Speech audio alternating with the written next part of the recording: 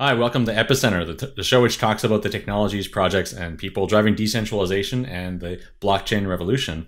My name is Sébastien Couture, and I'm here today with a new co-host, Joseph Schweitzer, who um, I'm sure lots of you will recognize uh, as a familiar face in the uh, in the Ethereum ecosystem. Uh, Joseph, uh, thanks for coming on and co-hosting this one with me. It's actually quite fitting since we're talking with Tim Beiko, who co- coordinates all of Ethereum's core developer meetings and works at the Ethereum Foundation on the protocol support team. Um, and today we're talking about, uh, well, all things Ethereum merge, uh, which is quite timely because uh, there was just a, a major uh, testnet merge uh, right like a few minutes before we started this. So, um, you know, this will go out you know fairly fairly soon after after that happens. So this is actually quite timely but um, yeah thanks for uh, thanks for co-hosting this one joseph and maybe tell the listeners a little bit about yourself and what makes you a, a competent co-host on this particular topic. Well if i'm going to uh, jump in on one i feel like this is an appropriate subject.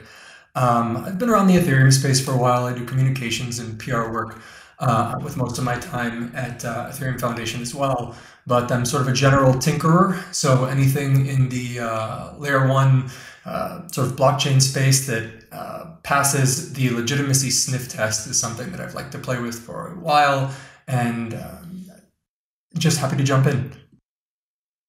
Cool. Well, yeah, happy to have you on, and hopefully you can come on for you know most of our uh, you know Ethereum focused episodes because I think you have a lot of like insider information and uh, really good insights. So. Um, glad to have you here. And the wonderful thing about public systems is that nobody has insider information if you're paying attention. yeah. And uh, yeah, Tim, thanks for thanks for joining us today. Um, uh, right right after the uh, the merge. Um, on Sepolia. Welcome on Sepolia. Yeah. Yeah. yeah. yeah. Yeah. Thanks for having me. cool. So before we talk to Tim, I just want to tell you about our sponsors this week. Uh, securing blockchains and earning rewards needs doesn't need to be energy intensive or complicated. And by staking your assets with Chorus One, you contribute to network security and earn rewards too. Chorus One has been a pioneer in this space since 2018, and they secure hundreds of millions of dollars in assets on over 30 decentralized networks, including Solana, Cosmos, Ethereum, and many others. If you're an institution and you want to run your own node, you can use Chorus One's white label service and their battle proven infrastructure to participate in proof of stake networks in an easy way. So head over to Chorus.one and start your staking journey. We're also uh, supported by Paraswap. Paraswap is a multi chain DEX aggregator. This means that through Paraswap, you can easily access the liquidity of various different decentralized exchanges. The protocol automatically finds the cheapest liquidity for you so you can know that you are getting the best price for your trade. Paraswap is also gas friendly and helping you keep your transactions low. They recently added support for Avalanche, Polygon, BSC, and Fantom. And you can also use Paraswap directly in your Ledger Live app if you use a Ledger. In addition to that, they are also becoming a DAO. So if you have PSP tokens, that's something you can participate in, as in participate in the governance of the protocol. And the Paraswap DAO just voted the gas refund program, uh, which will allow Paraswap stakers to get up to 100% of gas uh, refunds on their trades on top of their auto compounding yield. So to learn more, visit paraswap.io. And since we're here, I also want to mention something uh, that um, I think a lot of people perhaps have already noticed. I'm organizing a conference in Paris on July 22nd. It's called Nebular Summit. It's happening on the day after EthCC, so during EthCC week, which is one of the largest Ethereum developer conferences in Europe, actually one of the largest blockchain developer conferences in Europe as well. Uh, Nebular Summit is all about celebrating the Cosmos and Interchain ecosystem. So I hope to bring a lot of you know Cosmos folks and uh, Ethereum folks together for this conference. Um, we'll be joined by Cosmos developers, researchers, and entrepreneurs as they discuss the challenges facing the interchain and you know, talking about the future of the Internet of Blockchains. So tickets are almost sold out as we speak right now. Uh, we're going to be pulling the plug on the ticket sales soon, but you might be able to squeeze in. Uh, check out nebular.paris for more information. And I do want to mention our sponsors who are making this possible Evmos, Anoma, Club, Neutron, Agoric, and Celestia. So with that, let's uh, let's get into this. Um, Tim, uh, tell us a little bit about your background and how you got involved um, in this work.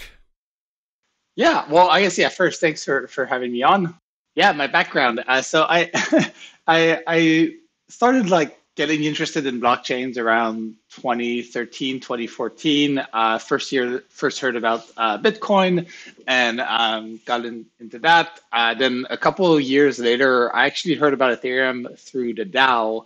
Uh, but when the dao was like a project um, and uh, not a hack uh, so I, I like heard mentions of it before but the the dao project is really what got me to like actually try out ethereum. So i literally bought ether and bought DAO tokens like the week or even maybe day before it got hacked. Um, and uh, and then the next morning, like remember reading on Reddit the post about some uh, I think it was Alexei saying I think someone is draining the DAO. Um, and that was like a pretty eventful couple weeks after that because not only was there this big hack, but after there was like the Ethereum Classic split, um, and you had to figure out like how to split your tokens uh, in order to prevent replay attacks and and I knew like absolutely nothing about blockchains then, so I was just like copy pasting random commands in my terminal, hoping that I wouldn't just lose all my coins doing so. So it was, it was, it was like a really interesting, uh, I guess, way to, to get into the space. Um, but after the DAO, there was like this this lull where it felt like you know maybe Ethereum uh, was not going to be like a successful experiment because well if this is a smart contract platform and you can't write a smart contract on it without it getting hacked, um, you know, is there is there a ton of value there? So I get I get following a bit, uh, but then in, in, like late 2016, early 2017, you start to see a bunch of projects uh, use Ethereum again, and obviously in like by mid late 2017, there was this huge ICO boom, um, and there I kind of realized like there would probably be a lot of demand for Ethereum, even if like all the applications in 2017 turned out not to work. Uh, clearly, you know, there's a lot of things you could, you could do with, with, with a blockchain like that. And I decided I wanted to work like at the protocol layer because as a user, like it was still pretty rough to use Ethereum those days. And, um, you know, like when there were like ICOs and the, the mempool would stay congested for like hours to days, it was just like a really bad experience and it felt like there's a lot you could improve there. But I wasn't like an engineer or researcher. I was like a product manager. So it took me a while to find like a product manager job working on the protocol and not on the product built on top of the protocol. Uh, so it took, it took like about a year, but then uh, ConsenSys put together a protocol team and uh, I joined that.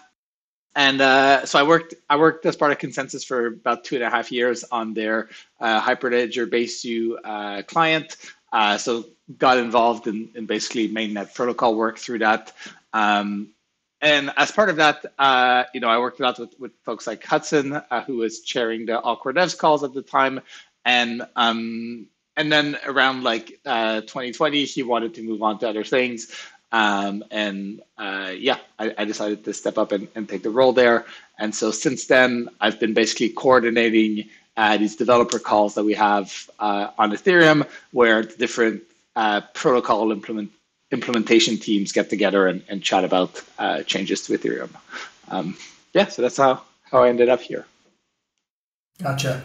And before we dig into core development and uh, uh, sort of how governance and ACD calls, all core dev calls, work in general, what's your role today? Um, we mentioned earlier you were with the Ethereum Foundation um, on the, the protocol support side. What is protocol support? Can you uh, just let the folks know? Yeah, yeah. So uh, our team, it's not really well known, but the, the team I'm on at the EF is called Protocol Support. And it's a bit of an odd team because like before me, there was no team. There was just like Hudson, you know, like floating in the org chart. Um, and then like since Ethereum has like grown and, and, and gotten more complex uh, in the past couple years, like the basically there was just like a team put together. And um, you know there's folks like danny and me where we uh, obviously share these calls.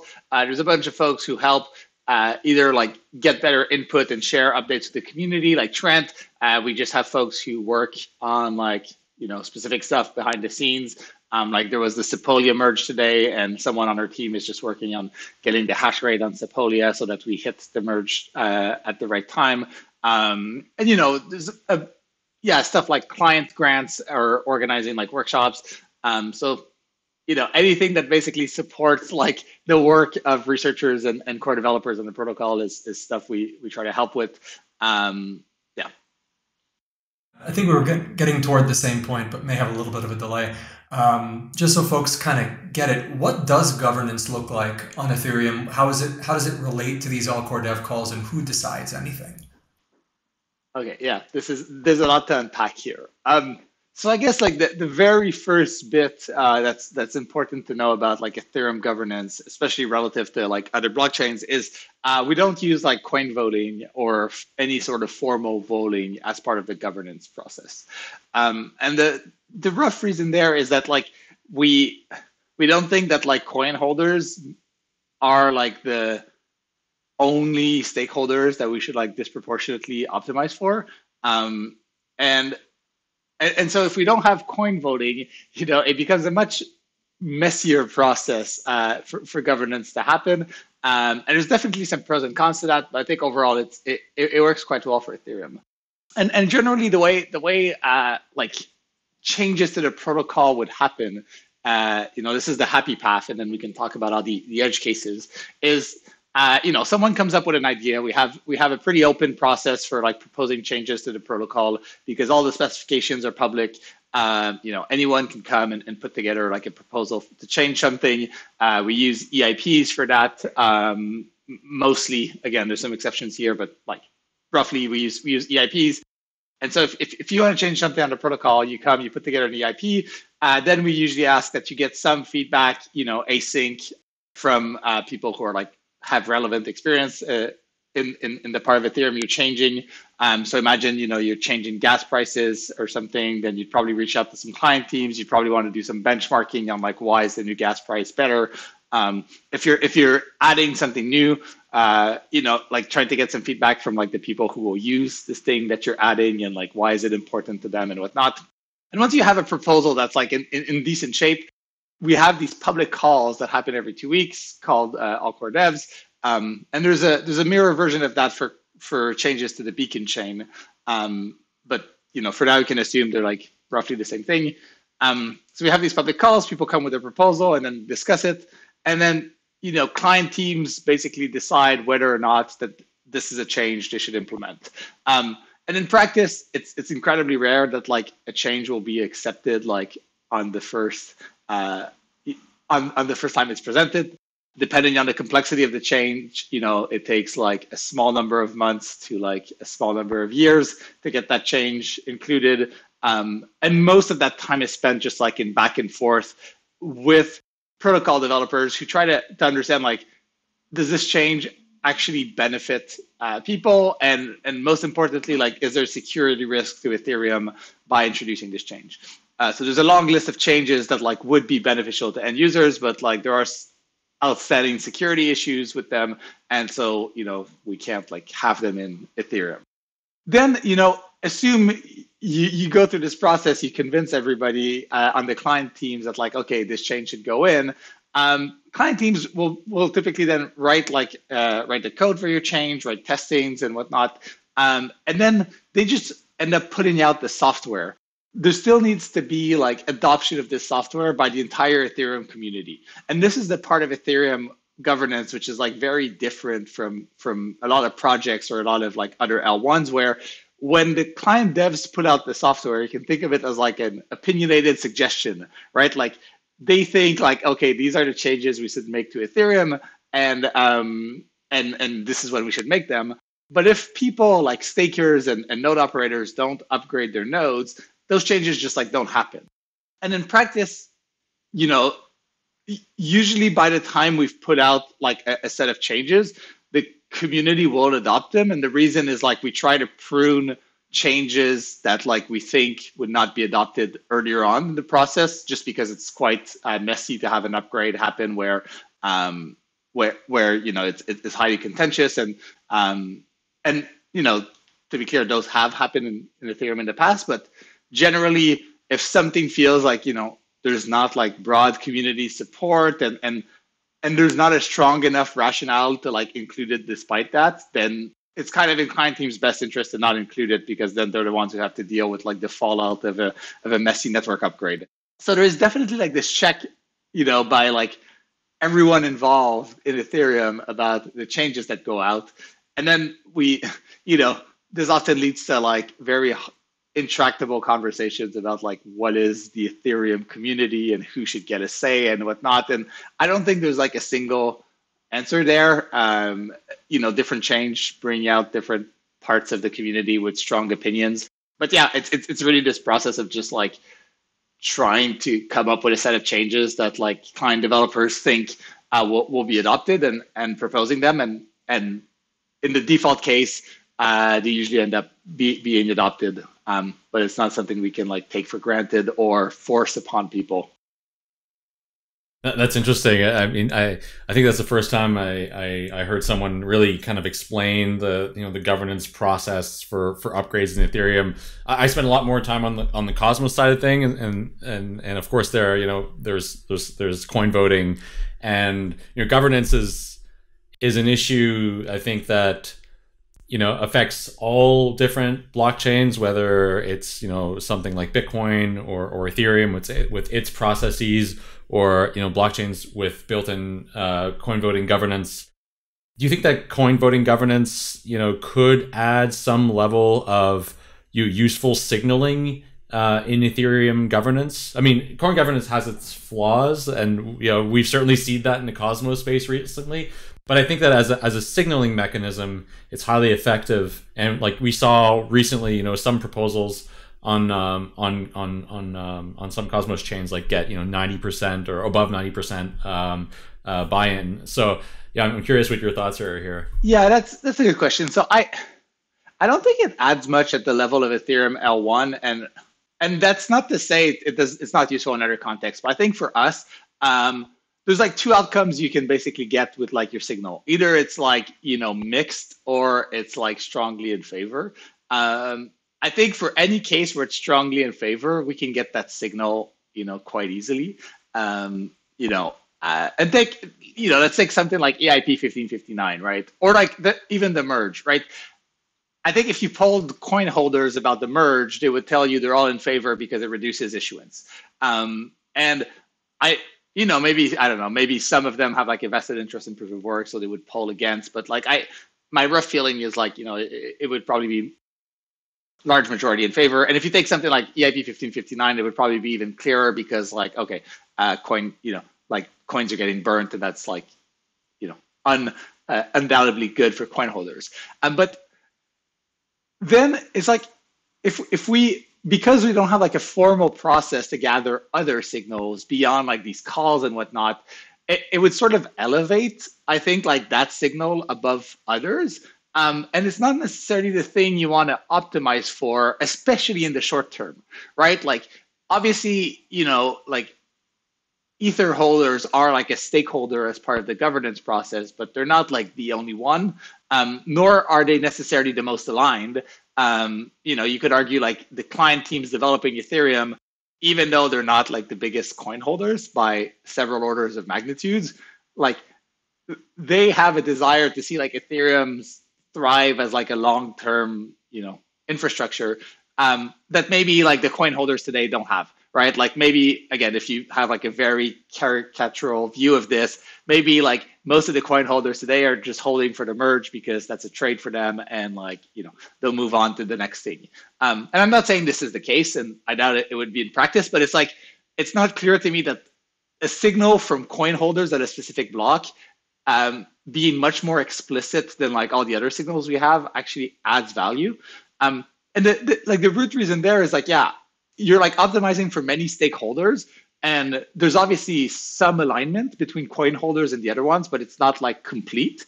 And I think like the more your project is like aligned with coin holders, the better like those governance votes are of a signal. And if you take like Im- imagine like a very simple hypothetical DeFi product where like the coin basically gets part of like the profits from like the operation of, of that DeFi product.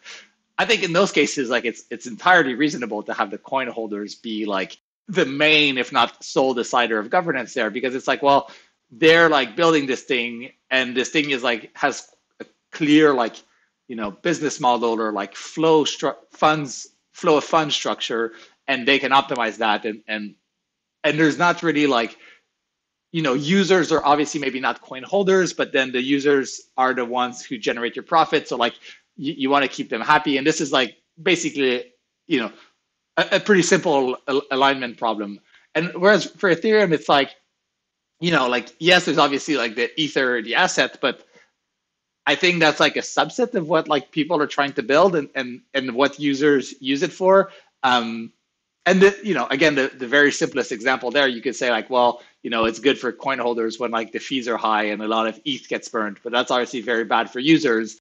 So you, so, so you don't want to like, yeah, over optimize for them. Um, so yeah, and and you know that said, Ethereum also has had coin votes in the past, and I'm not sure like we've gained much information from them.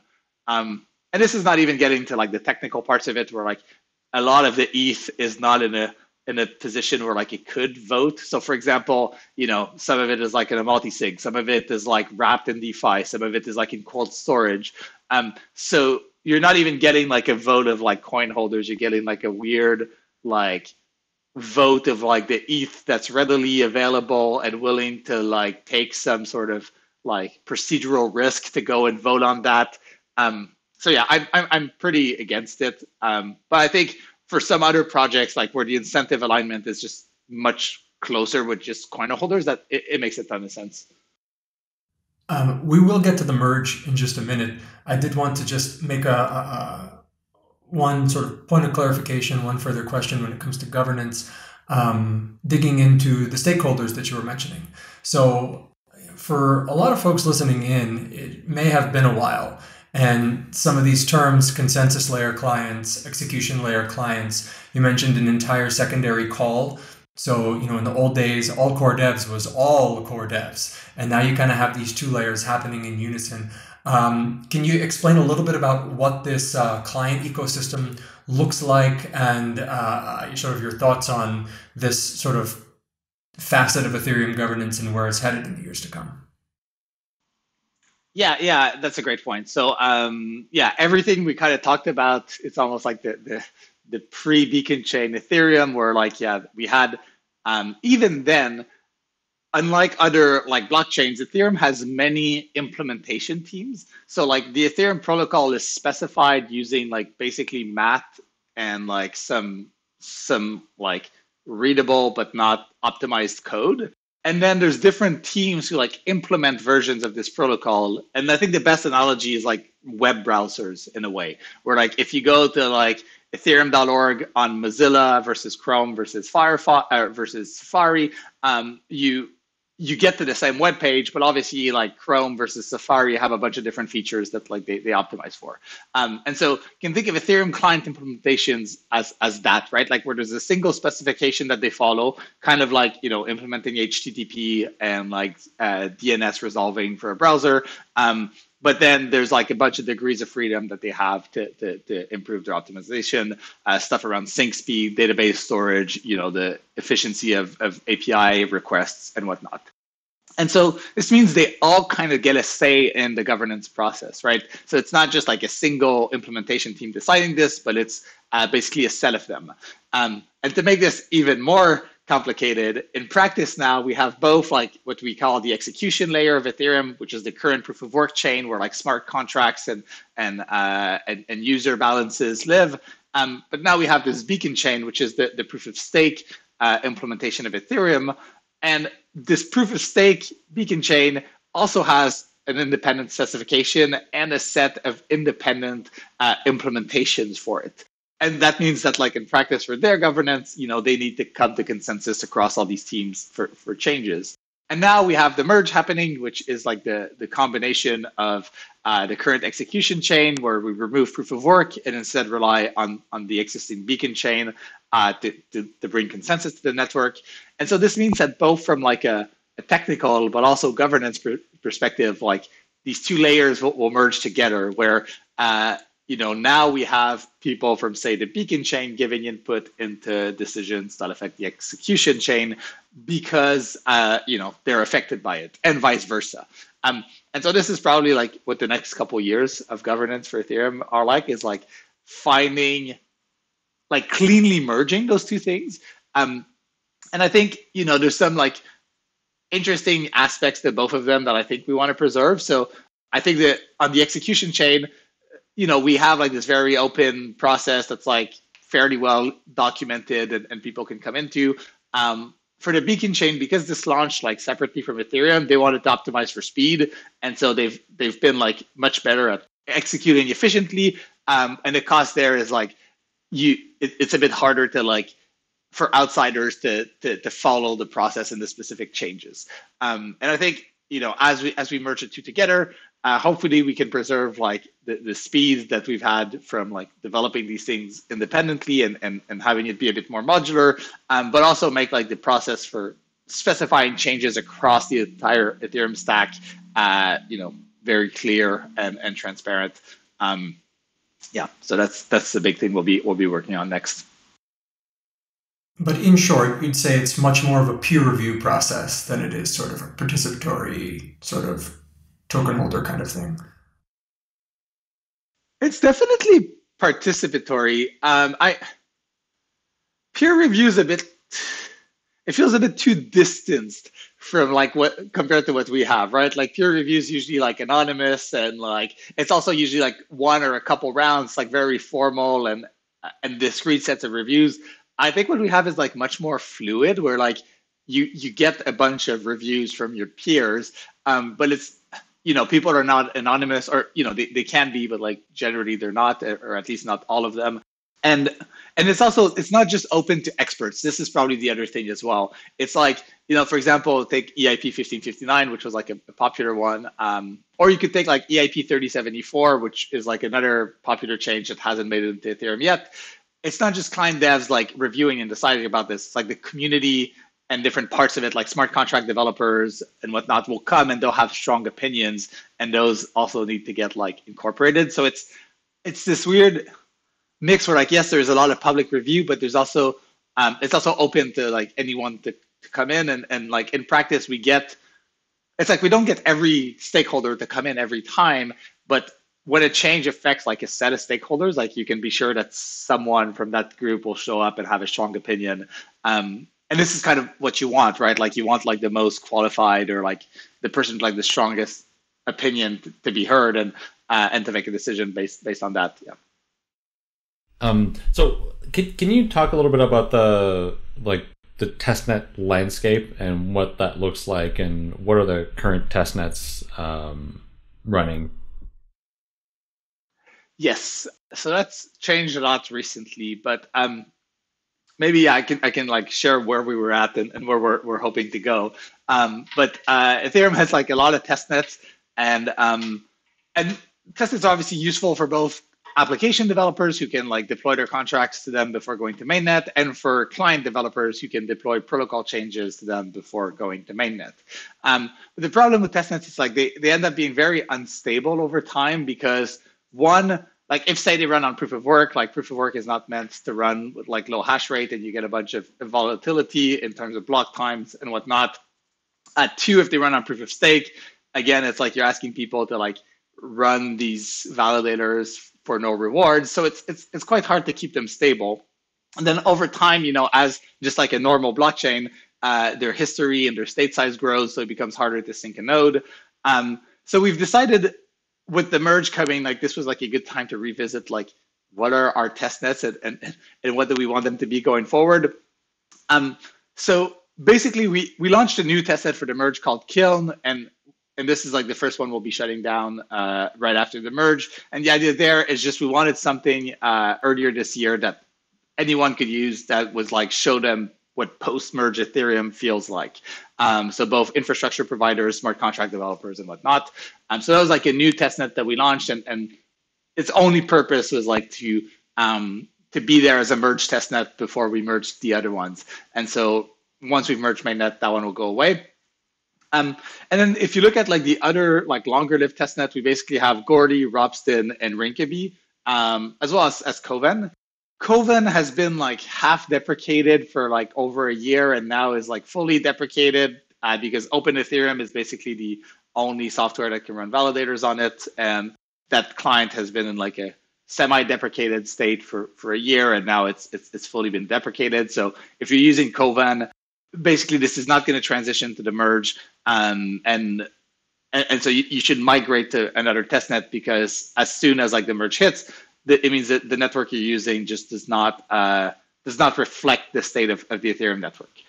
So yeah, Rinkeby Rinkeby is maintained by the Geth team, and it's been around for a long time, and, and now has like a, a large state and, and a history, so it makes it harder to, to run nodes on it. Um, so we're also not transitioning this one through the merge. Um, but it has like a lot of applications depending on it uh, already. So we have a bit of a longer shutdown period where we'll probably have it be live for like about a year um, from now. Although as soon as the merge happened, again, it won't be a good copy of the Ethereum mainnet. So it's most it'll mostly be there for like legacy reasons, but in about a year should be shut down. Then we had uh, Ropsten, which was another really old testnet. Um, and this one was running on proof of work. And it's always been really chaotic because getting proof of work hash rate on testnets is, is quite hard. And and it's and that means like the, the average amount you get is really low. But then if somebody just shows up with a miner, uh, you know, they overwhelm the network and that causes like super quick blocks with a lot of uncles. And then when they leave, it causes super slow blocks. So it's just it's just a bit annoying to maintain.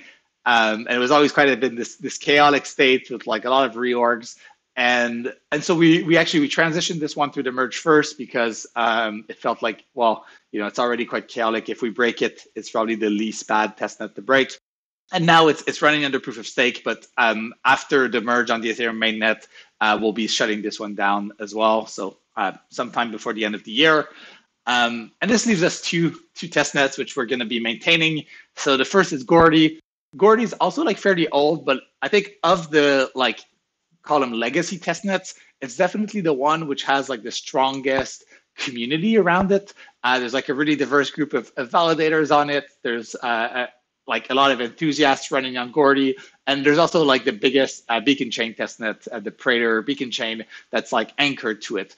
Um, so Goerli is a testnet we'll be maintaining going forward. Uh, we're going to run it through the merge. It'll be the last testnet we actually run through the merge, um, so that validators have a like dress rehearsal that they can they can try before before going on mainnet. Um, but if you're if you're using Goerli, you know it's it's not it's not going away anytime soon. And then lastly, uh, because Ropsten and Rinkeby were like so old and and like large, um, last fall uh, we launched a new testnet called Sepolia, and um, this actually just transitioned to proof of stake today, right before we, we recorded this. Um, and this is like a new testnet where the the good thing about it is it's just like super lightweight to sync if you want to run a node on it uh, you can you can get up to speed in like less than an hour. Um, and it just makes it like really easy to maintain. The downside is there's obviously not as much stuff already deployed there so there's not as much like interrupt between between contracts. Um, but we'll be we'll be we'll be keeping this one as well and hopefully growing the amount of stuff on it over time and the, the final difference between like Goerli and Sepolia is uh, because Goerli already had a, a, really like large validator testnet. Um, we're going to keep this as like an open validator set. So if you just want to try stuff on your validator on the testnet, uh, you could always use Goerli. And even after the merge with Prater, like you'll still be able to do that. Um, but because again, like when people have these testnet validators, they end up like not really caring for them. It causes some amount of instability.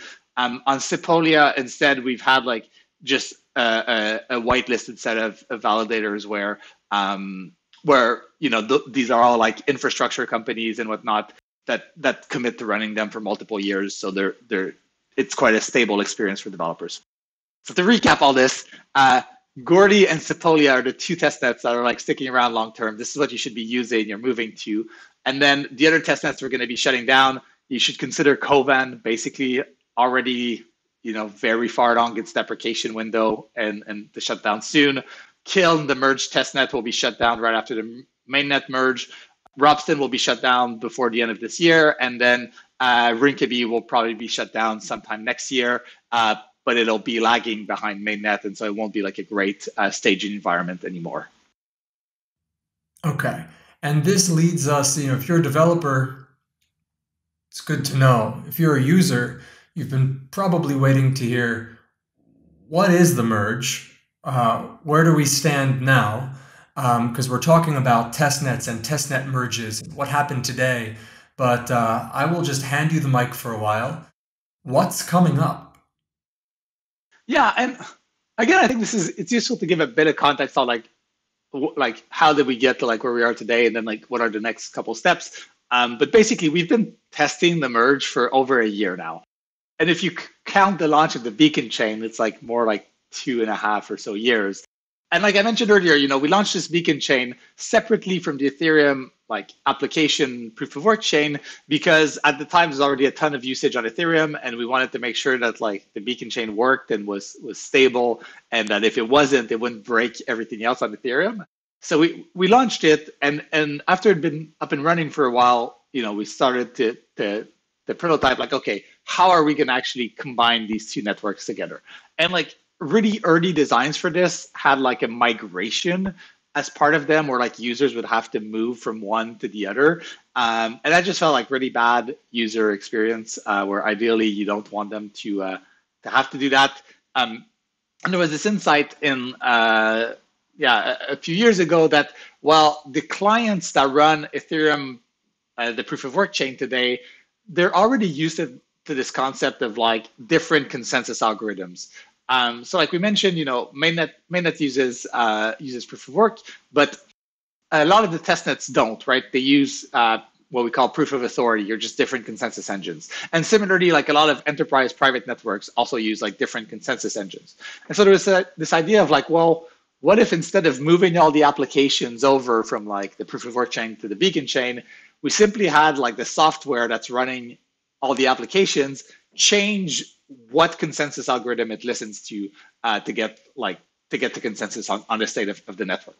Um, and this is like the the very high level design of the merge is that once we hit a certain point, the clients on the network stop listening to proof of work as a way to get the latest valid head for the for the blockchain, and they start listening to the proof of stake beacon chain.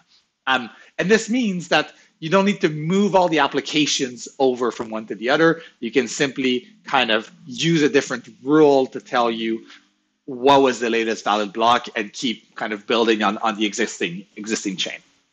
Um, so we first prototyped that in May of, of last year. Uh, there was like a hackathon, and um, we got some of the client teams together to prototype like, could the post merge uh, architecture work, where you have a beacon chain client that kind of keeps track of the head and then they receive blocks and they send them down to their execution client which runs the evm transactions make sure that those transactions are valid and then like confirms that or or orphans the block if not. So we, we prototyped that uh, in this hackathon. Uh, we got it to work so that was like good confirmation that like this design was sound you know like with the with, with the two clients talking to each other.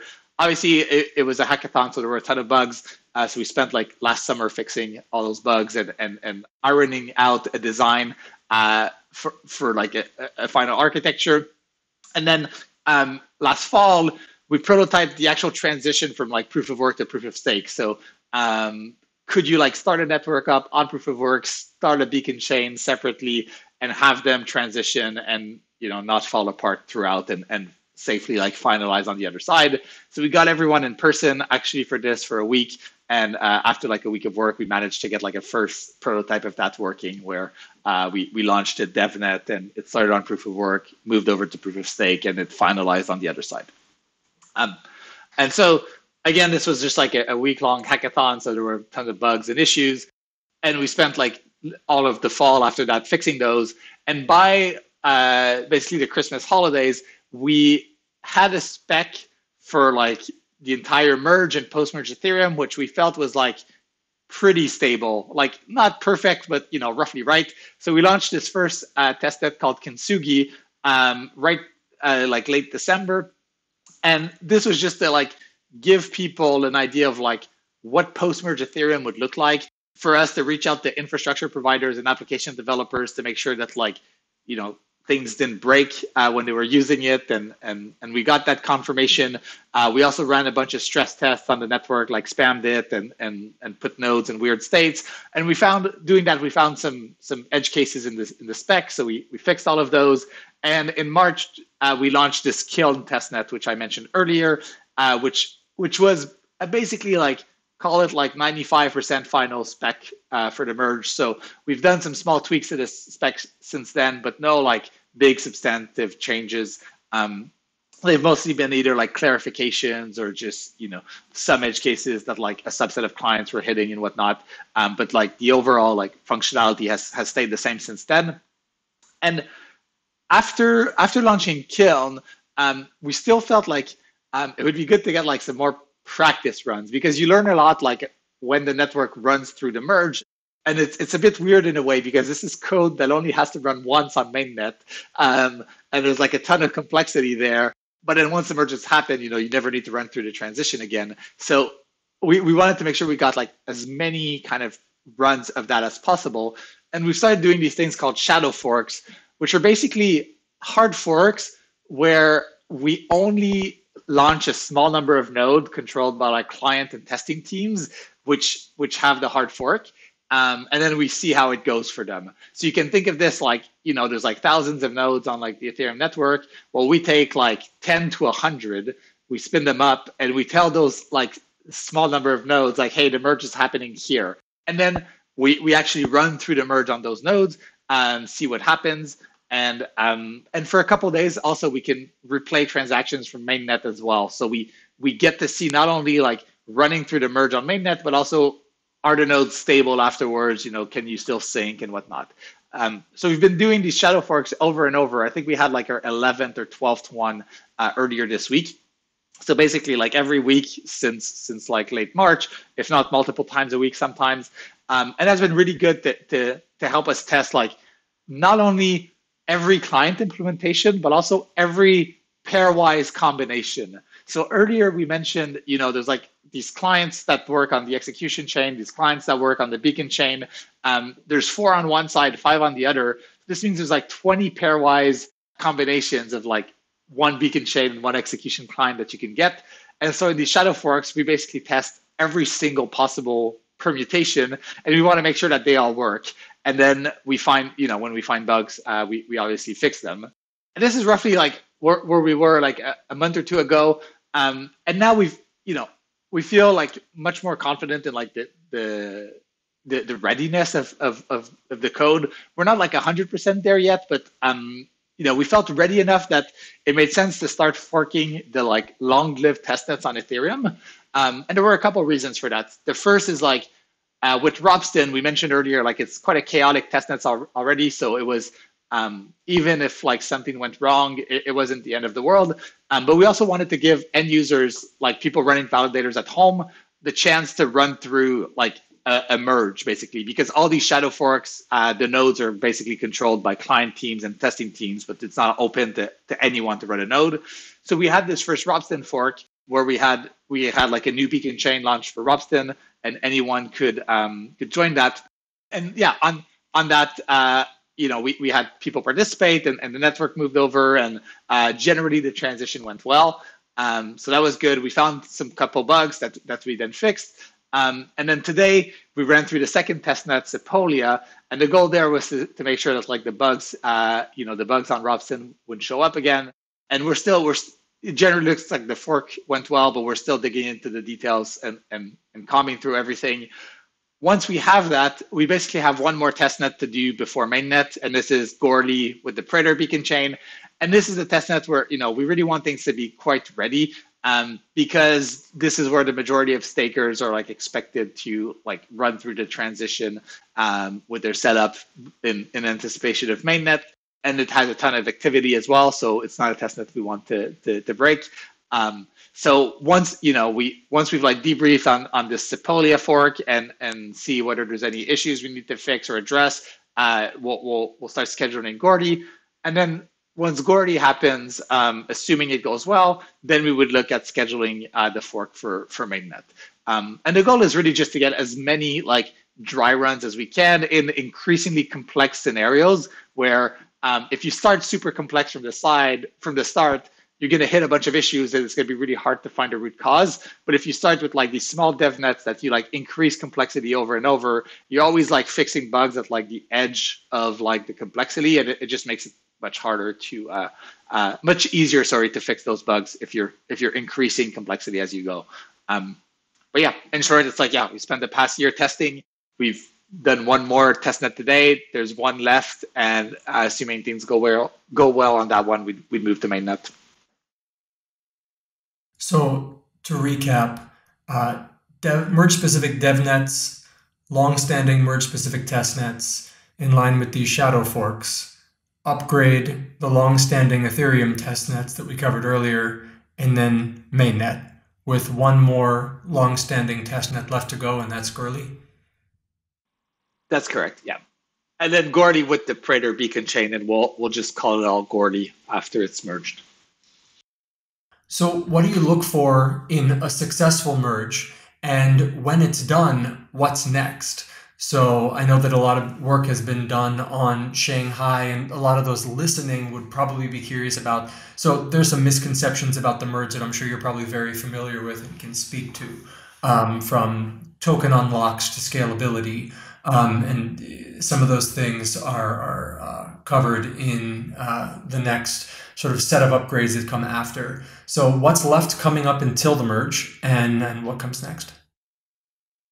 Coming up until the merge is basically we want to monitor these test nets like not only right after, but also like, you know, call it a week after so that we can still sync nodes to them and things work uh, work well. And you know, we have a whole slew of metrics that we look at, like from some pretty basic stuff like our blocks being produced to like, you know, are like transaction fees for every transaction being routed to the right way. So it's, you know, now it's really just combing through all these metrics and, and making sure that like things are looking good and, and fixing anything where, where it isn't. Um, and then when we fix things, you know, if we find a bug, we'll typically then write a test for it and then run all the clients through through this test suite because it's possible that it's just like, you know, one client hit something during during a, a merge, but then all of the clients actually had the bug and it just happened not to hit it. Um, so now it's like, yeah, it's really like fine combing through that. Um, and then if, you know, if, if you look out and you assume the merge has happened and, and we're all good, yeah, there's, there's a, obviously more things on the Ethereum roadmap beyond that. Um, and, and maybe the first uh, that, that you hinted at is this idea of like beacon chain withdrawals. Um, so because the merge is like the most complicated upgrade we've done to Ethereum since probably launching Ethereum, um, we've tried to cut down anything that wasn't absolutely critical from it, just so we can have like the smallest possible set of changes, uh, which is already a pretty big set of changes. Um, and and and the the the biggest like cut to that is the ability for validators to withdraw their stakes back to uh, to the execution layer, so to like fully exit as a validator. Um, so that's like the first big feature we're, we're planning uh, for after the merge. Uh, typically, when we have these hard forks, with with new features we'll we'll introduce more than one. So there's a bunch of other proposals as well. Um, but that's the stuff we'll be we'll be working on right after.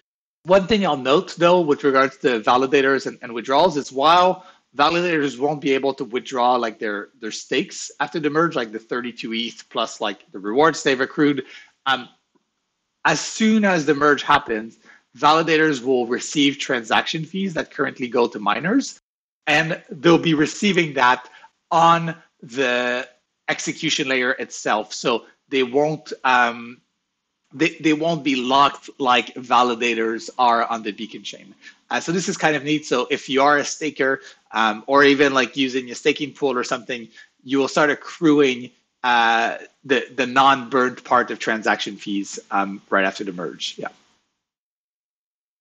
So let's talk about what happened uh, just just a couple of minutes ago, about an hour ago uh, the the Sepolia merge. Um, can you can you talk about that and in the context of like sort of you know this this broader roadmap and how significant it is to um, you know the broader like merge uh, efforts? Yeah, yeah. So so like we, we were saying, it's like the second out of three test nets. Um, and it is like this new one which we hope to keep stable. Um, and the the validators on this network are like a set of you know client teams testing teams infrastructure providers. So it's not it's not like quite anyone. Like we because we want uh, we want this network to be stable we we basically open it to like any individual or entity that can commit to running stable validators over a long period of time. Um, but there's not just like a web page where you can sign up and, and, and, and launch a validator like there is for Prater um, so this was like a good test because it's like it shows us okay like there is still like some group of of of like distinct entities and, and individuals that need to coordinate and uh, and debug things. Um, but it's still not as open as like the the Prater beacon chain or mainnet. Um, so yeah, it's it's like it increases like the, the complexity of things. Um, I you know because we're on this this this call, I haven't like been digging through uh, all the uh, the specific things that that happened, but at a high level, uh, right before I jumped on, it seemed like you know the, the network was was relatively stable. There were some parts of validators that hit like some some issues or were offline, and and it seems like folks are still looking into that. But we'll know better in like the next couple days, like you know what types of bugs did we hit? Were they they bugs they actually just like configuration issues? Um, so if they're configuration issues, this is actually quite good because it's like you know call it like operator error rather than uh, than like protocol problems. So that's you know you can just restart the validators uh, the wrong with the right configs and it works. Um, so that's what we're looking at. I think once we have a clear picture there, uh, we'll start thinking about okay, when do we want to fork this last testnet? Uh, I think our bar for the last testnet will be higher because we want to make sure that like any staker can run through it and that it's like as close to mainnet as as uh, as possible. Um, and then yeah, assuming that goes well, then we would we would then move to to, to merge mainnet. And so this next test net, anybody anybody would be able to run uh, a validator on this on this on the next test net. Yeah, yeah, yeah. And, and you can already, right? Like, so you don't need to wait for the merge. You can literally go and like register a validator on Prater and and have it be up and ready for the merge. Um, and if if if you want to also run a post-merge validator right now, you can do so on Ropsten. So Ropsten has merged, and so you won't run through the actual transition. But if you want to figure out, okay, how do I configure my validator so that like I actually get transaction fees and like uh, and some validators, for example, today it is possible to use a third-party provider instead of running an execution layer node to track deposits. Um, after the merge, it won't be possible to do so. So if you've been using, say, Infura or Alchemy with your Beacon Chain clients to track deposits, you can't do that after the merge. So you need to figure out, okay, how do I run, you know, Besu, Nethermind, Geth, Erigon, um, and you can do all that on Ropsten today um, and register a validator and make sure that it's it's working. Um, yeah. Cool. So uh, as we wrap up here, I, I think it, it, it would be interesting to maybe talk a little bit about about scaling and you know how um, like how post merge uh, what, what scaling would look look like post merge and uh, you know I, I think it's interesting that you know ethereum is is taking this data availability approach and allowing um, sort of like ecosystem chains to build on top of this on this on top of this base layer um, what what is what is your view about like what this ecosystem will look like post merge? You know, wh- where will like the majority of applications live? And and I think one interesting one interesting thing maybe also to consider is how what are some of the interoperability uh, um, I mean, beyond beyond like bridging and things like that, like what is the word the the work being done on operability to ensure that all of these different uh, roll ups and like chains built on top of the data availability layer uh, will be able to um, talk to each other and like do cross chain calls and stuff like that. I think, you know, over time, in terms of just like designing Ethereum, there's been this this like evolution where it's like if you compare Ethereum when, when it launched to Bitcoin, it was like this maximally complex blockchain relative to Bitcoin, right? Where uh, you know uh, it, it, concerns itself with like arbitrary computation and state and whatnot. Um, well, I think obviously the, the blockchain landscape has evolved a ton since then, and and like the the kind of design philosophy in a way for Ethereum has has kind of shifted to like okay, what is the actual minimal set of things we can provide with the highest level of security, which then enable people to build, uh, you know, applications, scaling solutions, and whatnot that that depend on that. And so, you know, like one very obvious shift is I decided that Ethereum originally wanted to do something called execution sharding, where there's a bunch of like L1 shards, which each process computation in parallel that are like managed by the protocol. And we've moved to this world where, well, instead, we'd rather allow like a free market of like solutions to, to emerge and, and use Ethereum uh, as, as like more of a settlement layer. And this is what we've seen with, with L2s today. Um, and this is how, you know, we think about like scaling is the L1 chain, like I mean, the capacity will keep improving, and there's some stuff we can do, but like it, it will not improve as quickly as like the demand for block space grows. Um, you know, so if you imagine we improve the capacity like 10x or 100x over the next like five, 10 years, demand for blockchain might grow like 100,000x, right? Like we need like several order of magnitude more. And this is where things like basically layer twos um, can provide that. And so, and, and, and the way layer twos work like at a very high level is that they trade off this, this asymmetry where on Ethereum, it's like very expensive to run computation, but fairly cheap to store data. Um, whereas on an L2, it's actually quite cheap to run computations. So if you can run all your computations on L2 and post like some data about them back to L1, that allows you to like lower your fees a ton because you're just running all these computations and uh, not actually running much on Ethereum L1. And ZK rollups and optimistic rollups differ in how like they, they approach this, but at a high level, it's like there's this asymmetry between the cost of like running operations versus posting data.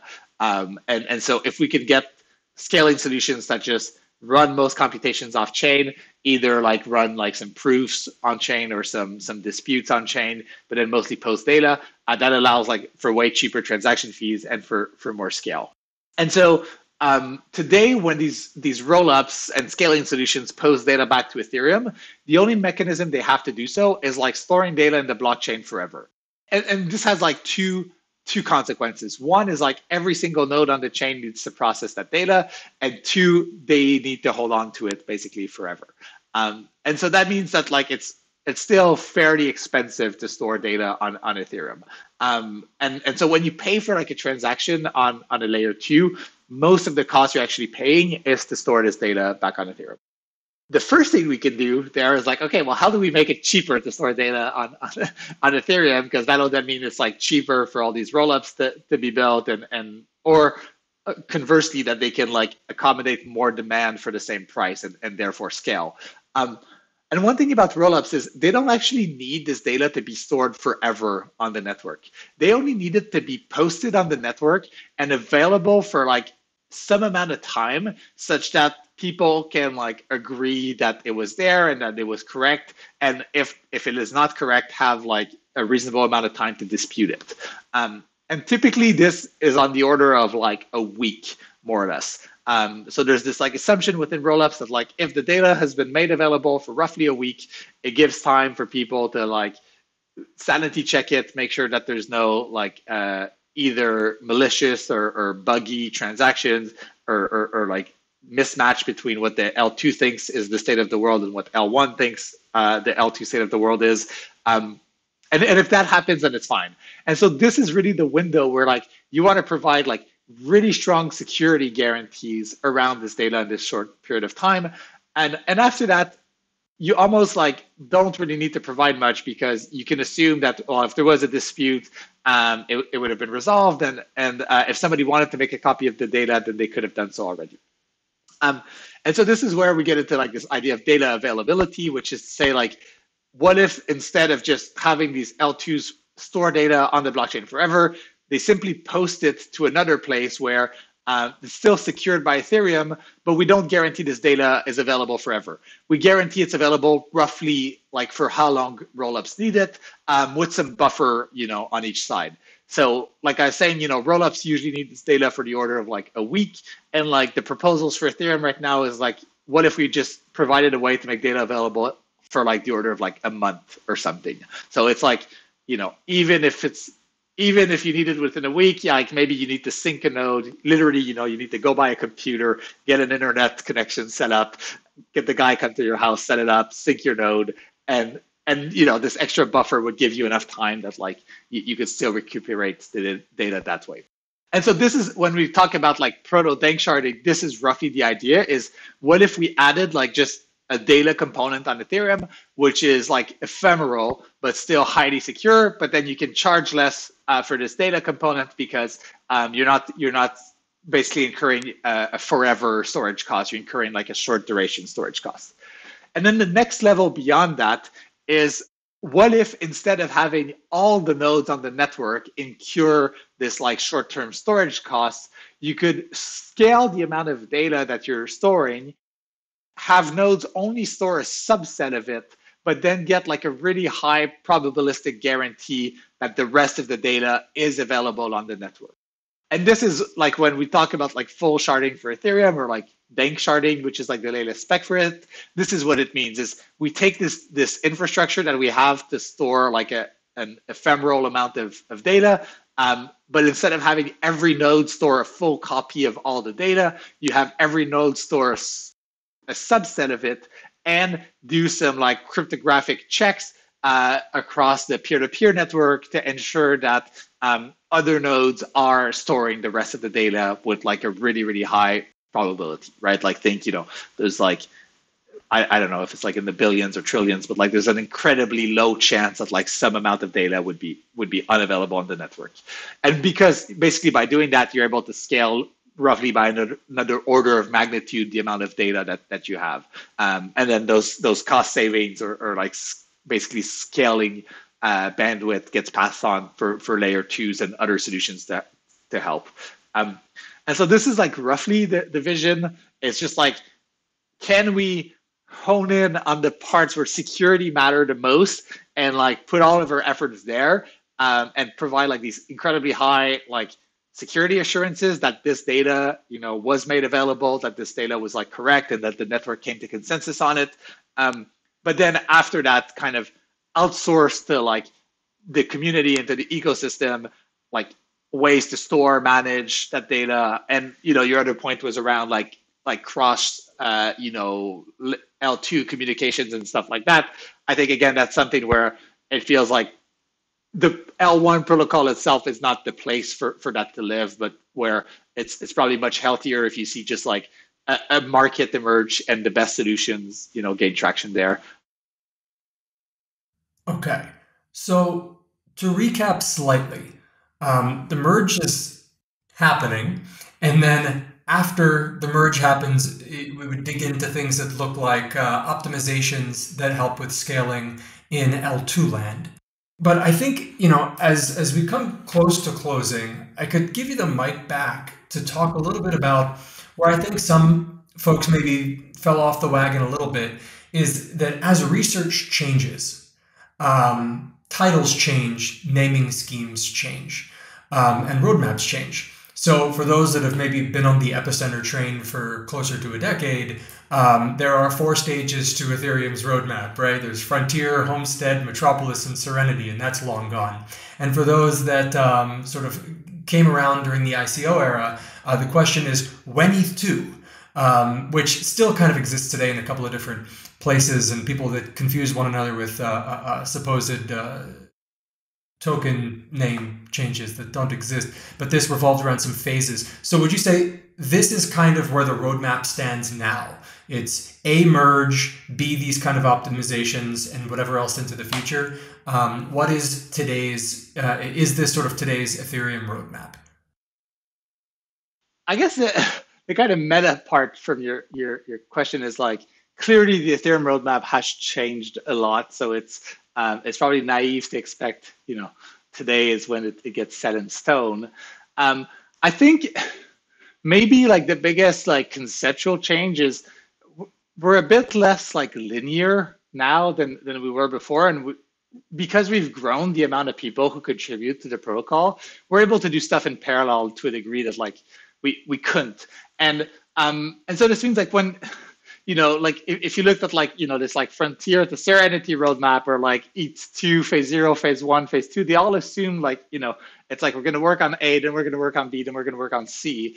Whereas today, it, I think we're in a spot where like, obviously we need to ship things one after the other. We can't ship every single thing at the same time, but there's definitely different teams and different like, even within teams, like people that are working on like the various, you know, big either issues with Ethereum or like areas of improvement.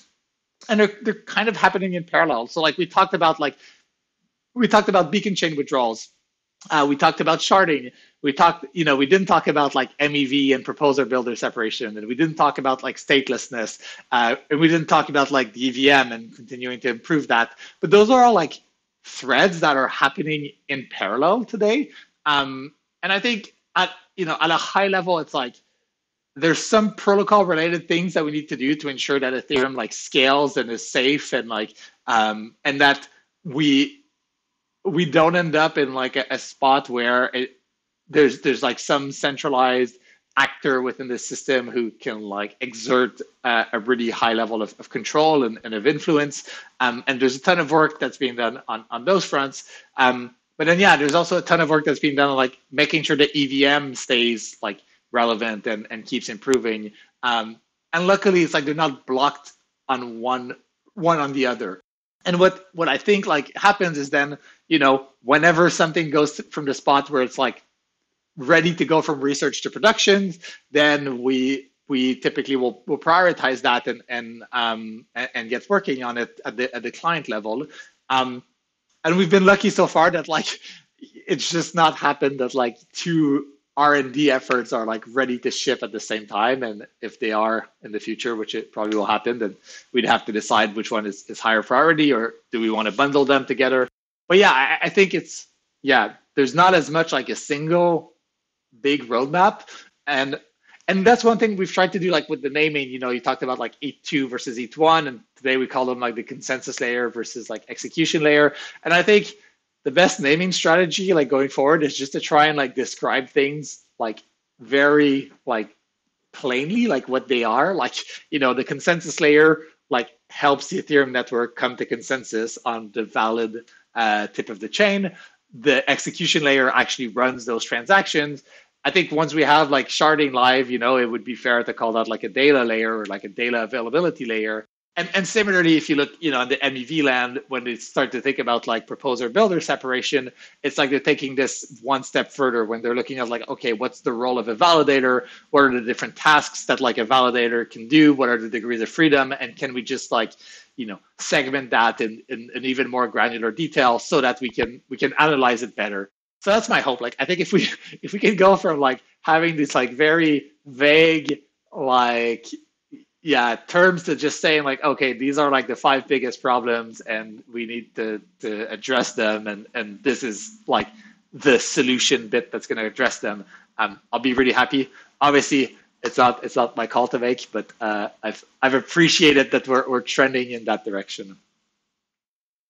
And i think we're going to have to save proposer builder separation for the second round. Yeah you need you need someone else to come and, and give a, a two hour talk on that yeah yeah, the next the next time we have someone from uh, from EF on, it'll be to answer the question when E three. we should, uh, you know, we we need we need to start getting some content out like early about about ETH three. You know, um, since since uh, you know since since our history with you know covering this sort of topic on episode. Um, but yeah, thanks uh, thanks for coming on, Tim. It's been great, and uh, I you know hopefully now our listeners um, get a much better view of you know the overall arch of you know the merge and everything that's um, that's coming up uh, next. Certainly, I, I have a much better understanding now. So uh, hopefully, we can get you on again soon and uh, in a couple of months uh, when uh, when things um, start to move into production. Awesome! Yeah, thank you so much for having me. Great, thanks.